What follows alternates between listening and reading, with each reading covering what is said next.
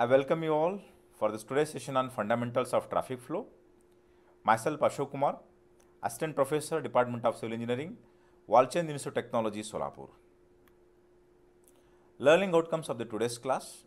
At the end of the session, students will be able to distinguish between uninterrupted and interrupted traffic flow and also describe the characteristics of uninterrupted and interrupted traffic flow. We know that the traffic stream involves the driver, vehicle and the physical road features and its environment. In the driving, in the traffic stream involves the variability because the driver behavior varies, even speed varies and vehicle characteristics varies. So, driver behavior depending upon the, the location and time and uh, he is going to, uh, his behavior in the traffic stream varies and some of the drivers will go with very high speed, some of the driver will go with very low speed. So, speed also varies and vehicle characteristics we have to consider like their length, then weight, then height, all this varies, all the parameters are varies. So, it is a very tough challenge for a traffic engineer to consider the, all these varying factors and design the facilities. In describing traffic streams in quantitative terms, a key parameters must be defined and measured. So, key parameters in the traffic streams are flow, speed, density and capacity. So, these must be described as well as measured. Now, to understand this inherent variability and define normal range of behavior. So, what is meaning of this normal range of behavior? Suppose if I take the example of speed as the example to define the normal range of behavior, some of the driver will go with a very high speed, some of the driver will go with very low speed and which one we have to consider for defining this stream uh, traffic stream parameters. Whether we should define all this considering the flow, it is uneconomical. So, low it is inadequate. Now, we have to define all these traffic stream parameters for normal range of behavior. Say all the vehicles are traveling with a average speed in the traffic stream. For that average speed, we are defining all these traffic stream parameters and designing the facilities. Usually the traffic flow facilities classified in two ways, uninterrupted flow facilities and interrupted flow facilities. Let us understand these two uh, parameters in detail. Uninterrupted flow facilities where there is no external factors to cause periodic interruptions to the traffic stream. What could be the external factors? External factors are traffic signals, stop or yield signs. Sometimes even in a long rural highways between signalized intersections, yes, we can also go with uninterrupted flow. Primarily, it exists on freeways. It means for a driver, there is no absolutely any external interruptions, interruptions due to this all these parameters. But it does not mean that driver can go with very high speed. Sometimes during a high volume also within the traffic stream the flow might decrease because of the higher volume. So, when the flow is decreased even capacity decreases speed decreases. So, but this external factors not because of the external factors your speed is reduced. It is reduced mainly because of your interruptions due to the within the traffic stream because of the high traffic stream your traffic speed is reduced or flow is reduced. Interrupted flow is opposite to that your uninterrupted flow. It means you are going to receive these interruptions, external interruptions like signals, stop or yield signs at the intersections and it is not available for continuous movement and time enters as a significant parameter in affecting the flow because here you are trying to stop the vehicle and start the vehicle, stop and start. So, in this one the time enters as a significant parameter affecting the flow. So, this is happens unsignalized at grade intersections where we, are, we do not have any un unsignalized intersection. You need to wait for the opportunity and cross the intersection. Absolutely there is any no uh, control on that particular intersection. Curb parking, yes, where, where we have the curb parking, parking, vehicles are parked on the road, parking, unparking, there you need to again stop the vehicle. So, all these operations will have an interruption to the movement of the traffic.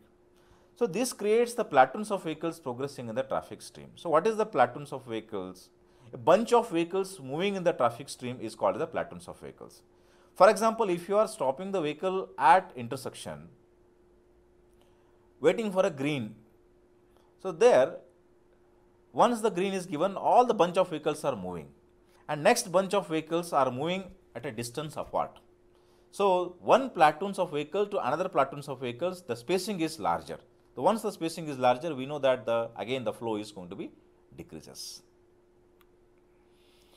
With this background of uninterrupted interrupted flow, let us define the traffic stream parameters. It is classified in two ways, macroscopic measures and microscopic measures.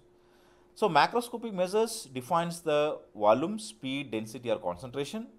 So this describes a single value of each which applies to the traffic stream as a whole. So why we are calling it a single as whole? We are defining single volume, single speed, single density, single density or concentration. So in the headway, this microscopic measure which measures the, the stream parameter within the traffic stream it means from one vehicle to another vehicle, we are trying to measure the, the behavior of the vehicle within the traffic stream. So we call as we have time headway and space headway, we are trying to measure this uh, microscopic measure within the traffic stream. Now let us define these traffic stream parameters one by one. So first one is the volume. Volume is defined as the number of vehicles passing a point on a highway or a given lane or a direction of a highway during the specified time interval so, number of vehicles passing on a specified lane or a given direction in a per unit time. So, here if you are standing on this particular location, you can observe the number of vehicles passing this particular lane, particular section per unit time. The per unit time might be 15 minute or per hour uh, per day also. So, it is expressed in per minute uh, vehicles per day, vehicles per hour. So, q equal to n by t, n is number of vehicles and t is the observation period. What is the rate of flow? Rate of flow generally expressed in units of vehicles per hour, but this represents the flow that exists for a period of time less than 1 hour. It means if you are measuring 200 vehicles in a 15 minute period, what is the rate of flow per hour? It is 200 into 4. This is 800 vehicles per hour. It means uh, 4 15 minutes exist in an hour. So 4 into 200 gives the 800 vehicles per hour. So that means 800 vehicles would not be observed if one hour was counted. So it is expressed per hour, but this can be 15 minutes are converted into a per hour traffic. The traffic flow measured in daily volumes and hourly volumes. Daily volumes are expressed in different ways. This daily volumes should consider the variations within a year, within a month, within a week and within a day also. So, how we are trying to measure that? First parameter is ADT, average annual daily traffic. This considers the overall vehicle passing in a year divided by 365 so this ADT, average annual daily traffic, considers the variations in the three seasons. Suppose the variations in the rainy season is lesser and in summer season the traffic is higher. So this considers the variation in the throughout the year. If you want to find out the variation in the weekdays of an year, suppose the if I consider the weekdays in a year considering the 5 weekdays for 52 weeks so 5 multiplied by 52 gives us 260 weekdays in a year. So you want to find out the uh, weekdays traffic, variations in the weekday traffic throughout the year. So we take the parameters average annual weekday traffic that is AWT. And another one ADT that is variations within the month. So you have the month traffic divided by the total month in a total days in a month that gives you ADT. Sometimes the 7 days traffic also we take the for calculation the ADT.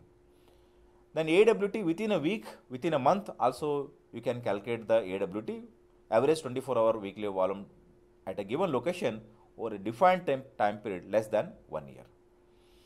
So all these parameters are defined in terms of vehicles per day. This is the example gives you uh, how to measure the AWT and ADT. So first, second, third column uh, the traffic is given uh, number of weekdays in a month and number of uh, days in a month and uh, total monthly traffic for that particular month and total weekday traffic for the particular month. So we know that AWT average uh, weekday traffic, average weekday traffic, it is given by 5 by 2. So what is the weekday volume and number of the weekdays? So 5 by 2 gives the week, average weekday traffic and average daily traffic, it is 4 by 3 that is monthly total monthly traffic and total month total days in the month. So that gives you ADT. So now adding all together ADT average annual daily traffic. So total all month traffic divided by the number of the days in the year gives you ADT. And AWT all the weekday traffic in the year divided by the number of the weekdays in the year that gives you AAWT.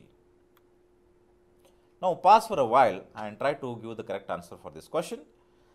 Now pure uninterrupted flow exists on all in where? State highways, MDR, national highways or freeways and ADT measures what? ADT measures uh, seasonal variation within a year, month or a week or a day. So I hope you are able to select the correct answer. The correct, correct, uh, the correct answer is the pure uninterrupted flow exists in a freeways and ADT measures the seasonal variation in the within a year.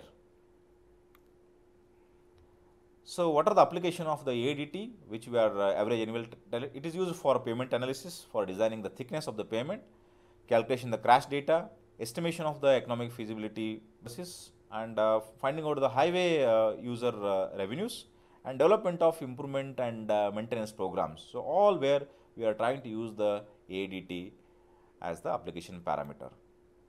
These are the references I have uh, prepared for used for preparing this presentation. Thank you.